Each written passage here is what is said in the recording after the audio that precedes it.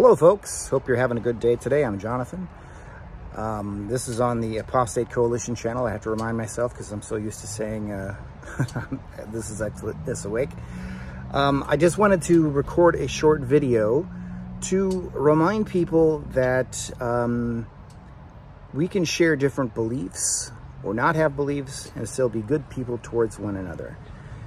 I'll show you, here's a photograph of the generous gift that was given to my family by a friend who is in a church down the road. Uh, we don't belong to that religion.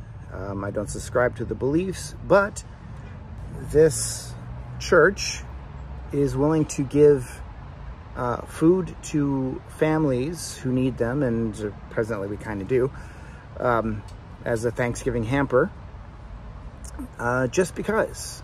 You don't have to belong to their organization in order to be helped by them because it's the right thing to do as a human being.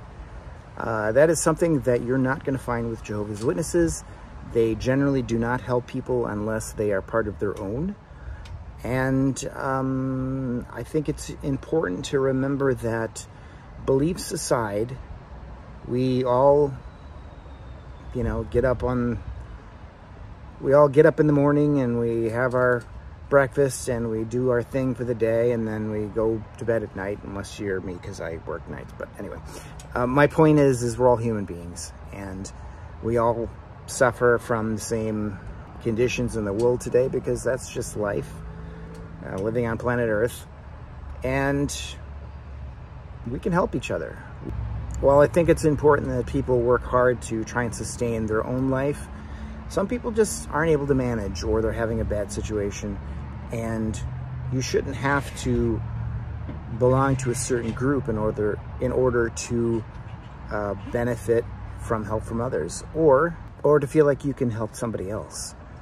So the next time that you are out by a literature cart of one of Jehovah's Witnesses and they're just, they're friendly, they're nice people, and they are directing you to their website, which that's what they do now, um, that's about all you're going to get if you're not a part of their organization, they really don't want a whole lot to do with you. You're a worldly person, and as if they can't get you as a member, then you will just continue to be a worldly person.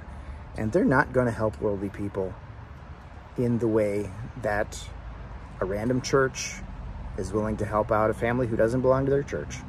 So that's just uh, my thought for the day. I hope that you are having a great day. If um, you're in Canada, um, happy Thanksgiving soon. That'll be this weekend. Um, and that's it. So take care and I'll catch you next time. Bye for now.